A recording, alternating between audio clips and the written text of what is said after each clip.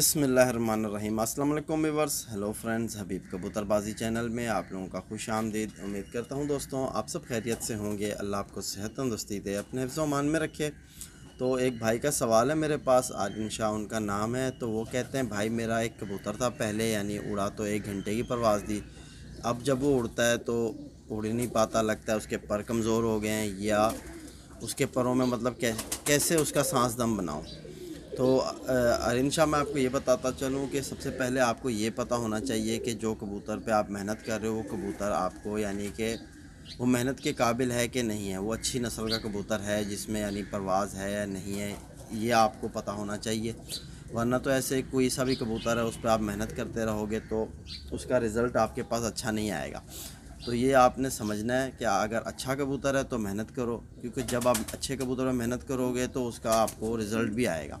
अब ये होता है इतफाक़ से कि हम बाहर से कोई कबूतर लाते हैं या हमारे घर का कोई बच्चा वगैरह निकला होता है तो पहली बार जब वो उड़ता है तो वो अच्छी यानी परवाज़ देने की कोशिश करता है। एक तो उसके जहन में ये होता है, जहाँ से वो उड़ता है, उस जगह से वो डर डर जाता है और नीचे जब वो अपने आप को देखता है तो डर डर की वजह से वो कबूतर आसमान की हाइट भी लेता है और अच्छा खासा रुलता फिरता है, फिर उसके बाद घबरा के आके जैसे भी अपने जाल पे बैठ जाता है तो वो उसकी एक पहली परवाज़ होती है। तो सेकंड और ती, दूसरी तीसरी चौथी परवाज़ों में उस कबूतर का पता चलता है कि वो कबूतर उड़ेगा कि नहीं उड़ेगा। अब जैसे कि मैं आपको बताऊँ अगर आपको एक अच्छे ख़ानदान का यानी कबूतर मिल जाए और उसके अंदर ब्लड अच्छा मिल जाए चाहे वो किसी भी कबूतर की नस्ल से क्यों ना हो कोई भी नस्ल क्यों ना हो उसमें यानी कि ये होना चाहिए कि ब्लड अच्छा होना चाहिए। अगर उसके ब्लड में ये है कि वो उड़ेगा और अच्छी परवाज़ें करेगा तो वो कबूतर आपको शुरुआत में ज़रूर कुछ ना कुछ दिखाएगा। जबकि हम उस कबूतर पे मेहनत करते हैं, जो कबूतर यानी हम अगर सुबह उड़ाते हैं, वो चार, पाँच घंटे, ग्यारह, बारह बजे तक उड़ता है। तो उसकी हम परवाज़ बढ़ाना चाहें तो वो कबूतर परवाज़ बढ़ा जाता है। उसकी हम पीछे मेहनत नहीं करते, जो कबूतर को हमने सुबह उड़ाया और बिल्कुल फिट कबूतर है और उसके बावजूद भी वो नहीं उड़ रहा। तो आप उस कबूतर पर मेहनत ना करो, उसकी जगह आप कोई अच्छा परिंदा ले आओ, उस पर अगर आप मेहनत करोगे इन आपका कबूतर उड़ेगा। बाकी ये होता है कि आपने अगर कबूतर की मतलब वर्जिश अच्छी कराई हुई है पर कुंदे उसके खुले हुए हैं तो फिर भी नहीं उड़ा तो वो कबूतर यानी कि सही नहीं है, ठीक है? आप मेरी इस बात को समझो, जहन में रखो, मेहनत भी उसी कबूतर पे करनी चाहिए जो कबूतर अच्छा हो। तो इसी तरह एक और भाई हैं सईद उमेर शाह, उनका नाम है तो वो पूछते हैं हबीब भाई, टैडी कबूतर में सबसे अच्छा टैडी नस्ल कौन सी है परवाज़ के लिए? ठीक है परवाज़ के लिहाज से। तो भाई, मेरे देखो, टैडी कबूतर, आजकल आपको बताऊँ कि हर बंदे के घर में टैडी कबूतर और हर बंदे ने अपने टैडी बनाए हुए हैं। ठीक है आप ये मत सोचो कि यार कि ये टैडी है तो ये उड़ेगा, फलाना टैडी है तो नहीं उड़ेगा। कबूतर वही उड़ता है भाई मेरे, जिसमें पॉइंट सारे अच्छे होते हैं और जिसके अंदर ब्लड अच्छा होता है। ठीक है मेरे भाई, आप इस चीज़ को जहन में रखो। देखो, आपको मैं ये बता दूँ, चौधरी सखी वाले टैडी बहुत अच्छे उड़ते हैं, या फलाने सेठ वाले कबूतर हैं, वो अच्छे उड़ते हैं, या मेरे वाले टैडी हैं, या रॉयल टैडी हैं। तो जो भी टैडी कबूतर हो, अगर उस कबूतर में ब्लड अच्छा होगा तो ही वो अच्छा उड़ेगा। अगर आपने खूबसूरती के लिहाज से देखना है तो फिर बहुत से टैडी ऐसे मिल जाते हैं वाइट नोकों में, वाइट आँखों में, यानी वाइट नाखून में, यानी अच्छे कलर में तो वो यानी आपको खूबसूरती दिखा सकते हैं। अगर उसमें देखो मेन जो है मैं किसी के कबूतर की बुराई नहीं करना चाह रहा, ठीक है? मेन जो है आप उसको समझो कि भाई कबूतर वही रखना चाहिए। अगर आप शौक़ के हिसाब से रखना चाहते हो, आप उनसे परवाज़ लेना चाहते हो तो कबूतर में ब्लड अच्छा होना चाहिए चाहे वो किसी भी लाइन का क्यों ना मिल जाए आपको सियालकोटी कबूतर का मिल जाए या कसूर के कबूतरों का मिल जाए या फिरोज़पुरी मिल जाए या रामपुरी मिल जाए या जो भी कबूतर आपको मिल जाए। टैडी ही अच्छा कबूतर है वो भी आखिर इन्हीं नस्लों से ही बना बन, बहुत से कबूतरों को मिला के बनाया गया है ठीक है? तो इस चीज़ को आप समझो। मैं आपको ये नहीं कहूँगा कि फ़लाना टैडी अच्छा है फ़लाना अच्छा है बस आपने ये देखना है कि ब्लड कौन सा अच्छा है उसमें। वही ब्लड से आपने अपना शौक़ करना है। तो इसी तरह एक और भाई हैं, अमृतसर कबूतरबाजी। तो वो पूछते हैं, हबीब भाई, जेठ के पर पटाई कब कब दूँ? यानी कि जेठ की पर पटाई कब करनी है? तो भाई, मेरे ये फरवरी चल रहा है, इसके आप यानी फरवरी में उनकी परपटाई कर सकते हो, ठीक है?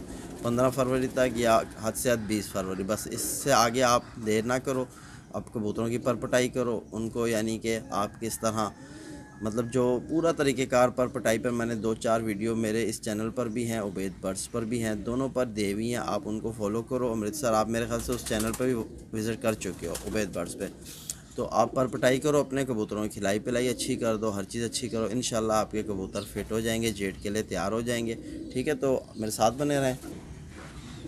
तो इसी तरह एक और भाई हैं, ज़िद्दी बॉयज़, उनका नाम है जैदी बॉयज़, ठीक है? जो भी है फ़िलहाल। अस्सलाम वालेकुम हबीब भाई, मेरे पास एक कबूतर है, यानी बहुत अच्छा उड़ता है, ठीक है? तो तीन चार फीमेल के साथ क्रॉस किया उसका ताकि बच्चे अच्छे उड़ें, और किसी के साथ बच्चे अच्छे नहीं उड़े, वो ख़ुद अच्छा कबूतर है। तो भाई मेरे, आप या तो जोड़ा लगाने में कहीं कोई मिस्टेक कर रहे हो, जिसकी वजह से आगे वो कबूतर अपने ब्लड यानी आपको नहीं दे रहा आगे?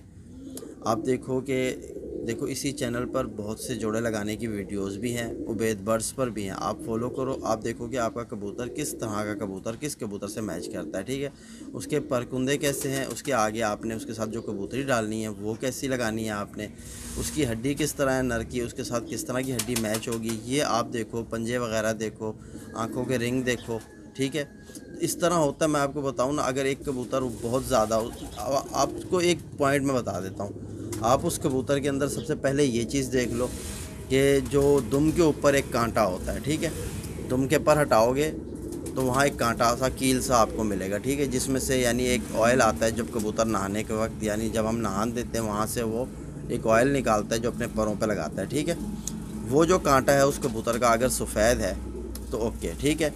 अगर वो कांटा सफ़ेद नहीं है, वो किसी दूसरे कलर में, यानी गुलाबी कलर में या ब्राउन कलर में आ रहा है तो उस कबूतर पे आप मेहनत करोगे तो कोई फ़ायदा नहीं है, ठीक है? वो ख़ुद उड़ रहा है, आगे बच्चे नहीं उड़ाएगा।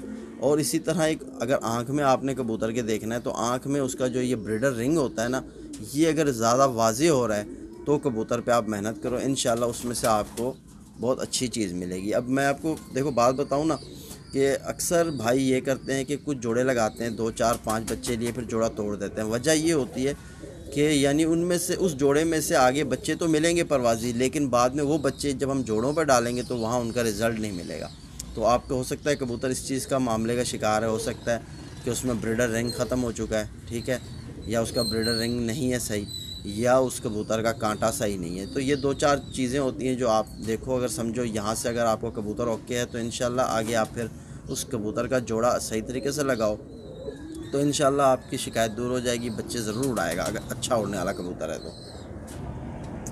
तो इसी तरह एक और भाई भी हमारे साथ, उज़ैफ़ कलियानी, उनका नाम है तो अस्सलाम वालेकुम वालेकुम सलाम भाईजान। तो कहते हैं कबूतर का ब्लड ठंडा है या गर्म है, कैसे पता लगाने, लगाएँ? ठीक है रिप्ले प्लीज़ तो मैं आपको बताऊँ, देखो उज़ैफ़ भाई दो दो बातें होती हैं हमारे कबूतरबाजी के शौक़ में। कुछ कबूतर ऐसे होते हैं जिनकी हड्डी सख्त होती है तो उन, उस कबूतर को हमें हमें यानी अब जिस तरह मैं कभी कबूतर चेक करूँगा ना तो अगर वो सख्त हड्डी के मिजाज का कबूतर है तो मुझे पता चल जाएगा कि ये कबूतर सख्त मौसम में भी, यानी टेम्परेचर में भी, यानी घर बैठेगा और जब मैं इसकी संभाल करूँगा तो ये संभल जाएगा। ठीक है? अब यानी इसी तरह कबूतर होते हैं, उनमें नरम हड्डी होती है, ठीक है? अब नरम हड्डी का कबूतर यह है कि एक तो वो सख्त मौसम में अच्छी परवाज़ नहीं कर सकता। अगर वो अच्छी परवाज़ दे दे तो उस कबूतर को वापसी में यानी संभालने में यानी ज़रा मेहनत ज़्यादा होती है और कुछ कबूतर संभल जाते हैं, कुछ कबूतर नहीं संभलते। देखो, कबूतर वो अच्छा जो एक लंबी परवाज़ के पास, परवाज़ करने के बाद भी अपनी टांगों पर खड़ा रहे। ठीक है ना? अगर वो आके अपनी टांगों पर नहीं खड़ा हो सकता तो उस कबूतर को आपको इलाज करना और उस कबूतर का आपने उस कबूतर पे यानी उसको संभालना, इस पर आपके बड़ा मेहनत लगे क्योंकि जब भी कबूतर अपने टांगों पे खड़ा होगा तो वो कबूतर आपको यानी अपना इलाज करने देगा, वरना तो आप यानी थके, हारे कबूतर को हाथ में उठाओगे, हाथ में ही मर जाएगा वो कबूतर। तो आपको देखो, हड्डी चेक करने का तरीका भी मैंने इसी चैनल पर दिया हुआ है।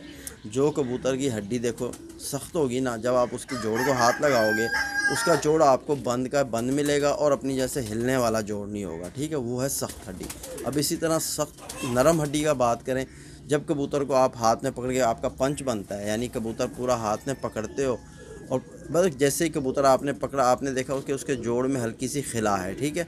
और जब आपने पंच टाइट करके उसके, यानी जोड़ को हाथ लगाया तो आपने देखा कि उसका जोड़ बंद हो गया। तो ये एक बहुत आसान तरीका है। इसी से आपको पता चल सकता है कि कबूतर, यानी ठंडा है कि गर्म है, ठीक है?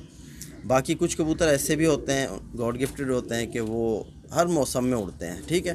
तो इसी तरह और भी भाई हैं, उनके भी बहुत से भाइयों के सवाल हैं। इन फिर नेक्स्ट वीडियो बनाएँगे, उन पर कवर करेंगे। तो फिर मिलते हैं। इसी तरह मेरा एक दूसरा चैनल है, उबेद बर्ड्स का। आप भाइयों को बताया हुआ है, वहाँ भी विज़िट करो तो वहाँ भी आपको बहुत कुछ मिलेगा सीखने को और आपके हो सकता है इल्म में इजाफ़ा हो जाए। तो फिर मिलते हैं। अल्लाह हाफिज़।